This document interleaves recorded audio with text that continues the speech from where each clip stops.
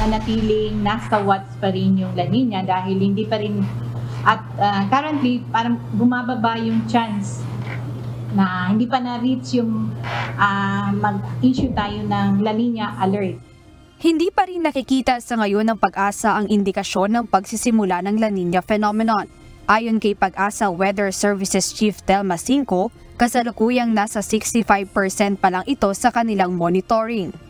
We are looking towards uh, uh, August to October na from transitioning from uh, uh, entry neutral to La Nina by uh, August to October to a weak La Nina. Pero currently hindi pa tayo nagtataas na maging alert no so yung chance natin ay mababa pa rin but uh, we still have that uncertainty. Pero nakikita natin towards the end of the year usually uh, nag tataas natin siya sa alert pag naabot niya yung uh, 70% chance for the next 6 months.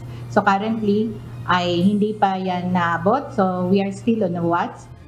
Kaugnay nito, inilunsad ng pag-asa ang bagong update sa kanilang website kung saan maaari nang makita ng publiko ang mas detalyadong weather forecast kada araw. Mayroon na ring real-time weather data mula sa iba't ibang observational tools ng Weather Bureau. Yung pinaka-key features talaga ng panahon tool natin is basically yung auto-updating. So, uh, ito ay combination ng mga automatic stations na nag-update nearly hourly or pwedeng 10 minutes. So, kapag nag-update na yung data, is automatic na siyang makikita dito sa panahon tool natin. Target ng pag-asa na maabot ng publiko upang mas maturuan o mabigyan sila ng impormasyon kaugnay sa lagay ng panahon kasama rin ng disaster risk managers, maging ang local government units na matutulungan ng nasabing bagong update sa website ng pag-asa.